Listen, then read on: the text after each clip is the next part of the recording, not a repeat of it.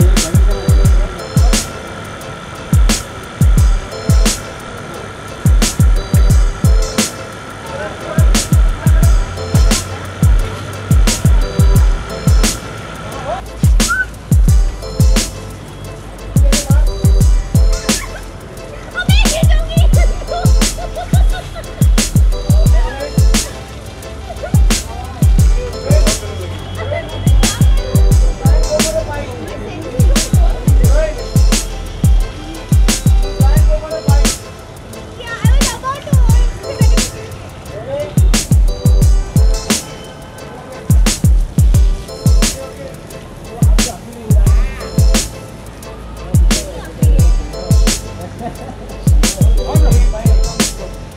हाँ तो फिर आस्था मतलब छत पे घूम रही है इतनी कड़ी धूप में क्या चल क्या रहा हाँ है? यार मतलब घर में पानी ख़त्म हो गया है घर में इतने सारे लोग एक साथ आ गए इतने सारे बूढ़े अज्जी और अजूबा आ गए सब तो वो हमारे रूम में नहाने के लिए आ जाते कुछ लोग के लिए नहाने के लिए पानी नहीं बचता तो फिर मैं उनसे कहती हूँ कि आप ऊपर जाके नहा लीजिए।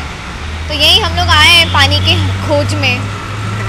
तो फिर पानी के खोज में अभी मतलब कुछ ऐसे गीला वीला करने वाली हैं आप लोग को नहीं नहीं मैं उन्हें जेन्यूनली बोला था मैंने कि यहाँ पे नल में पानी आ रहा है भाई आप नहा लो अपने हिसाब से रेडी वेडी हो जाओ। वो तो वो गुस्सा ना कर इसलिए मैं आई थी क्योंकि नल में पानी नहीं आ रहा था। और बाई चांस चालू रहता है पानी आना और फिर एज यूजुअल टिप टिप बरसा पानी पानी ने आग लगाई।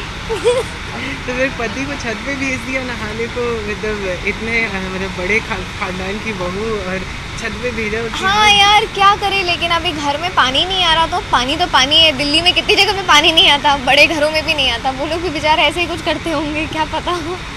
तो एक तरफ़ आपने कहा कि टिप टिप बरसा पानी था मतलब क्या वो का राज था क्या रोमांस इतने घर में भर, इतने सारे लोग हैं तो क्या छत पे रोमांस नहीं नहीं आपने तो ढूंढ रहे हैं। तो गाना सीरियसली ले लिया। मैं तो ये कह रही थी कि नल में से सिर्फ़ टिप टिप पानी आ रहा है और यहाँ पे बहुत ज़्यादा गर्मी है तो आग लग गई है।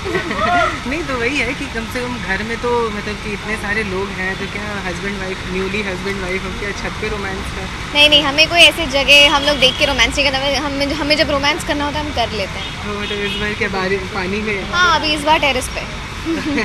ओके ठीक है थैंक यू सो मच